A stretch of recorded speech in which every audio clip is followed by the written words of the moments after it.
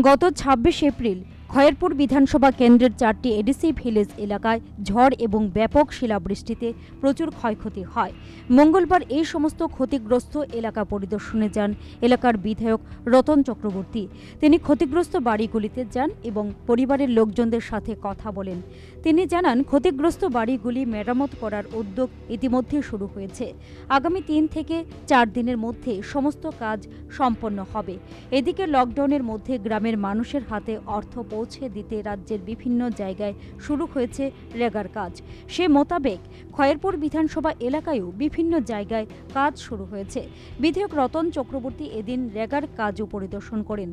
তিনি সবাইকে দৈহিক দূরত্ব বজায় রেখে কাজ করার আবেদন জানান।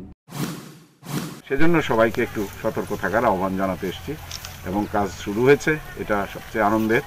এবং সেটা যাতে নিরাপত্তার মূলক ব্যবস্থা যেগুলো আছে প্রতিষেধ যতদিন আবিষ্কার না হবে এবং আমরা সম্পূর্ণ এটা থেকে মুক্ত না হব, ততদিন পর্যন্ত এই সাবধানতা অবলম্বন করতে হবে। এছাড়াও এটা অভ্যাসে আমাদের পরিণত করলে আমাদেরই ভালো হবে। যেখানে সেখানে থুতু ফালানো একটা জাতীয় অভ্যাস আজকে ভারতকে সারা পৃথিবী ফলো করছে। এই জিনিসের জন্যই এসেছি। আমার খুব ভালো লাগছে যে আমাদের মা বোনের অনেক দিন পরে আবার একটু কাজে যোগদান করেছেন। কিন্তু এই আনন্দ উচ্ছ্বাসের সময়টা না। আমরা সুখ ভাগ করে নেই, আনন্দ ভাগ করে নেই, দুঃখটাকেও আমরা ভাগ করে নেব।